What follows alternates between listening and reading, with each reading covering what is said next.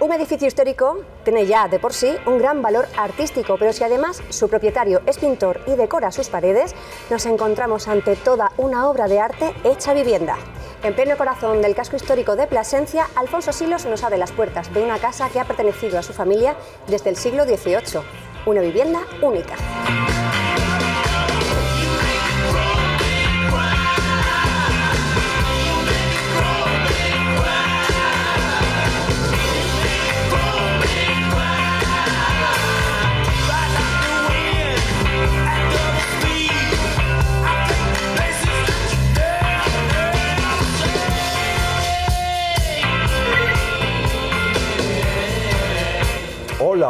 Ana, ¿qué Hola, tal? Alfonso. ¿Qué tal? ¿Cómo estás? Muy bien, qué casa más preciosa. No, esta es la casa de siempre, es la casa de, de los hilos de toda la vida. Y ahora la mantengo yo.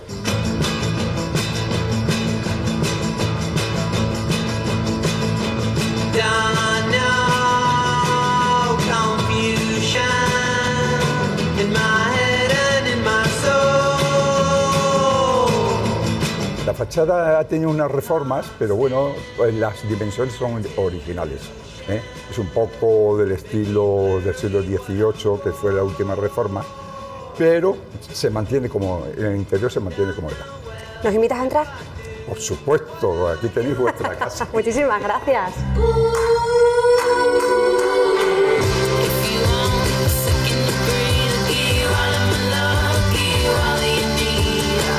Entramos en la casa y hallamos un recibidor con unas bóvedas espectaculares. Las has pintado tú, evidentemente. eran unas bóvedas como las que hay en todas las casas antiguas, en los zaguanes, ¿no? Encaladas.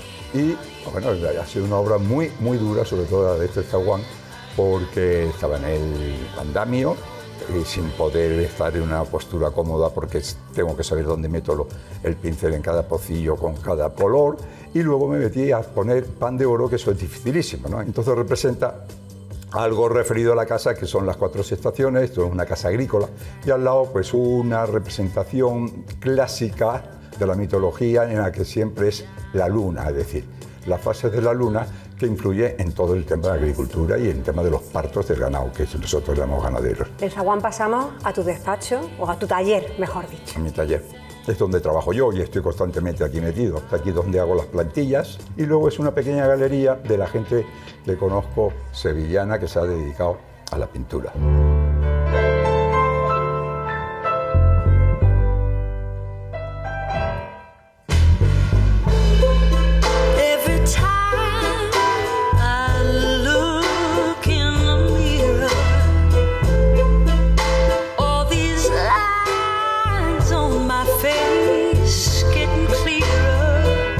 Este patio era el inicio, digamos, de la ruta de patios que hubo en Plasencia, pero también ha sido galería de arte en alguna ocasión. Sí, pues aquí en un patio clásico, con los cuadros colgados, pues la gente venía más y venía veía la casa y, y la verdad que resultó, resultó muy bien.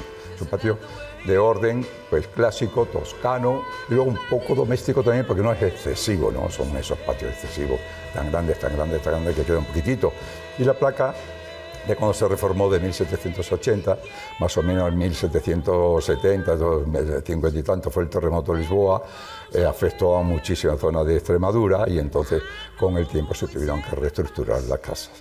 Debajo hay un aljibe que transpiraba el agua, al transpirar el agua se iba descomponiendo el feldespato del granito. ¿no? Es un coste que, que tuve que aceptar, tuve que aceptar porque ante todo está la, la seguridad y el patrimonio. ¿no? Los gobernantes, las consejerías de cultura, etcétera, se tenían que preocupar un poco más del patrimonio como pasa en otros países.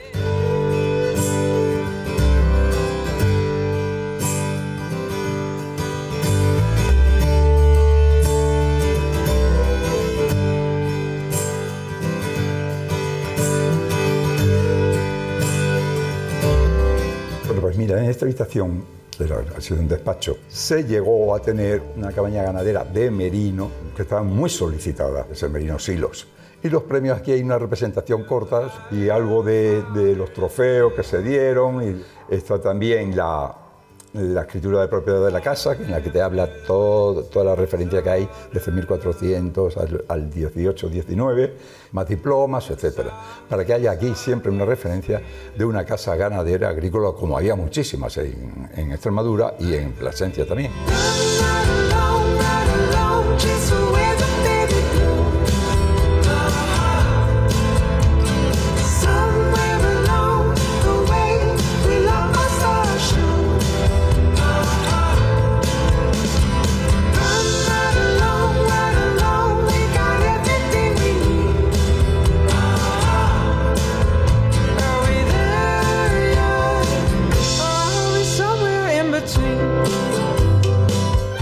En, una cocina que le llamamos el cocinón.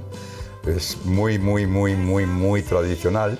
En estas casas en que venían, la gente que trabajaba en fincas muy alejadas en aquella época, pues venían a caballo.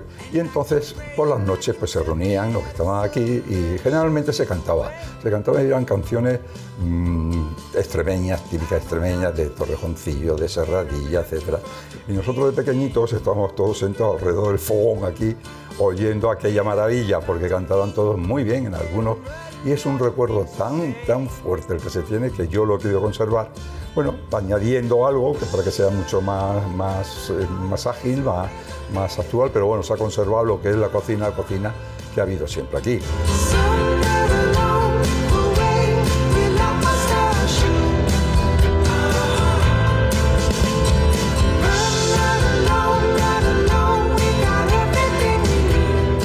Cocina pasamos por una bodeguita con unas rejas. Sí, hay un bodeguín que llamo yo, el suelo todavía está enrollado, inclusive se nota que algunas botellas que se han roto, pues es- ahí está el vino entre- y tiene un olor especial y es donde guardo yo el vino, ¿no?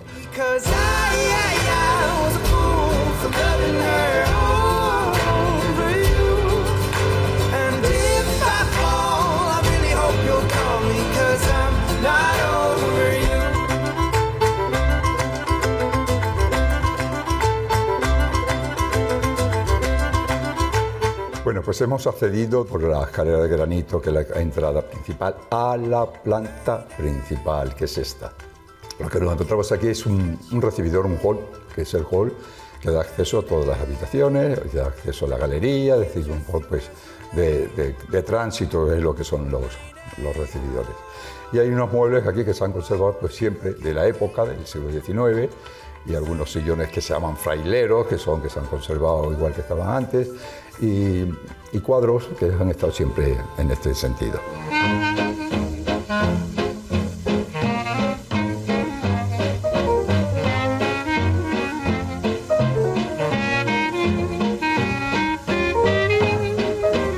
Este salón es un, un Luis XVI, pero un poco ya con influencia, se nota un poco de influencia de- del Carlos IV que viene después. ¿no? Lo importante, por lo menos para mí, es el, es el suelo hidráulico, imitando al mosaico, romano. Tiene de importancia también en el mueble un John Taylor que tenemos ahí y funciona, funciona todavía cuando se le da cuerda. Eh, Lo pongo unos días antes de fin de año. No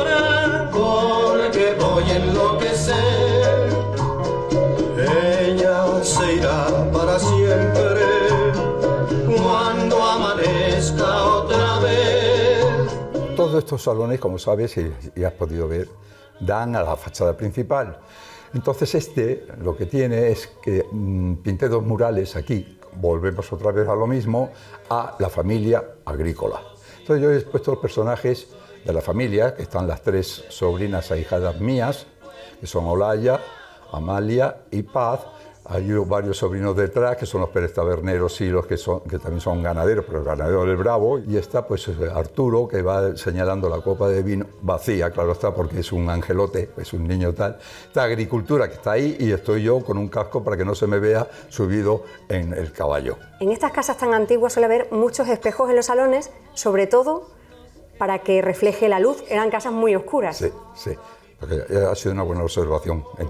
Además, en todos los palacios, en todo esto, siempre hay mucho espejo para que entre, la- que se refleje la luz de los ventanales y se haga más, más eh, más visible todo, todo lo que hay en las habitaciones. Este libro es una Biblia antiquísima. Este mural también lo pinté. Es el Omnia Volvini il Mane, eso significa que todo se va y todo permanece. Es decir, todo lo que, por eso he puesto las golondrinas. Se van, pero vuelven, se van y vuelven. Es un ciclo de la vida, ¿no? Lo bonito que hay en- el pensamiento.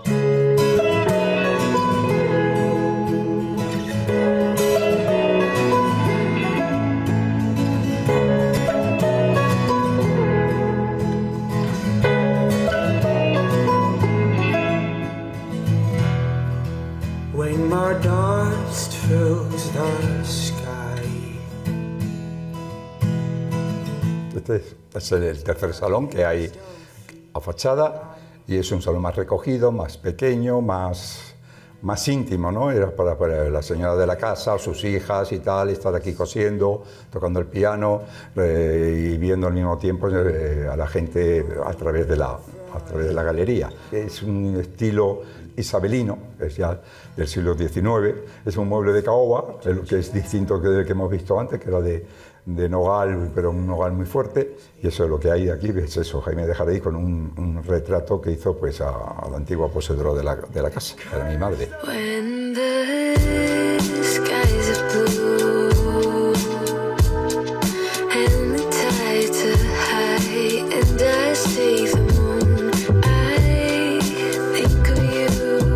Esta planta hay ocho habitaciones, una de las cuales pues, estamos viéndola del Segundo Imperio.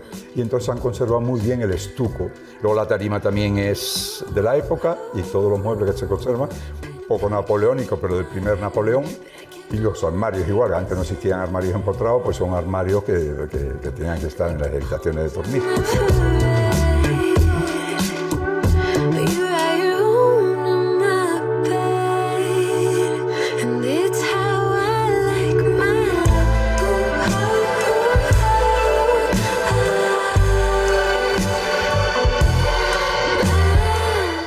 Comedor de la planta noble. ¿no?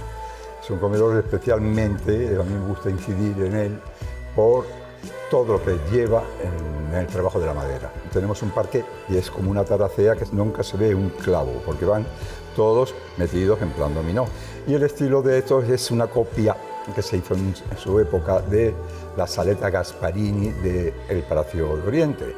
Alguien de mi familia que estaba con un poco la política y tal en, Madrid, pues le gustó la, la saleta Gasparini y, y mandó copiar en Madrid los muebles del comedor, la mesa y la consola. La consola especialmente es un trabajo de, de primer orden en, en madera. Aquí también vemos una lámpara espectacular de cristal. sí. Y es curioso que la moldura de arriba no sea de escayola, que es lo típico. Sí, sí, como todas las contraventanas que están abiertas, como todas las contraventanas francesas de fuera, etc. Va cambiando del nogal a la encina, etc. Pero es como un- una rememoración de todo lo que se puede hacer con la madera, ¿sabes? También vemos mucha vajilla Sí. y cubertería, porque tu esta habitación, aunque parezca una habitación museo, no lo es, la tienes al uso. Sí, sí. La, la casa está utilizada prácticamente toda la casa. Toda la casa, no diariamente, pero constantemente está- estoy recibiendo gente, estoy recibiendo familia, etc. Está, está muy utilizada.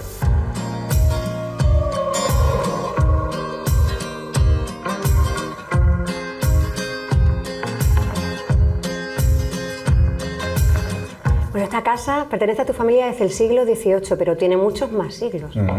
¿Cómo llega esta casa a tus manos? Mi madre hizo la carrera de Bellas Artes en una época fabulosa. ¿Por qué? Porque en Madrid estaban los mejores pintores de la época en España. Y entonces dije un día, quiero hacer Bellas Artes. Y dijo mi madre, ni hablar. Tú haz arquitectura y luego lo que sea. Pero yo te voy a llevar a los mejores estudios de pintura de Madrid. Y también en el Círculo de Bellas Artes, etcétera. Entonces yo estuve mucho tiempo fuera y tal, pero yo tenía una, comunicación de, de la estética y del orden y de la pintura y tal con mi madre muy fuerte, ¿no? Y por eso me lo dejó a mí, porque a lo mejor mis hermanos pues no tenían, no tenían esa vocación o no querían cargar con esto, porque esto es muy duro llevarlo llevarlo. Y si te gusta el arte y sobre todo en conciencia, yo tengo que conservarla y tengo que pasarlo como si fuese una cápsula del tiempo a otras generaciones, a un futuro. Luego ya pintando los muros, etcétera, etcétera, me entretengo muchísimo. Claro. porque vas a seguir subido los andamios Voy a seguir, todo lo que puedas. ha visto el andamio con ruedas, eso lo traslado por todos lados. Yo lo que no puedo hacer es, no, no tengo un taller de pintores para que me, para que me pinte murales, pero bueno, lo poco que pueda hacer yo, hay que dar, la impronta italiana. que se dice pronto. Pues Alfonso, muchísimas, muchísimas gracias por habernos enseñado esta maravilla de casa, que es una obra de arte en sí. Pero a vosotros os tengo que dar las gracias, porque así por lo menos lo conocen los extremeños que no pueden acceder aquí o, o- o si están interesados en conocer el patrimonio que tenemos, lo pueden conocer a través vuestro. Qué necesario es, ¿eh? Sí. Conservar, Sí, conservar sí. el patrimonio y luchar por él. Es la historia, la historia que tenemos, nuestra historia. Y hay que conservarla. Pues ha sido todo un placer.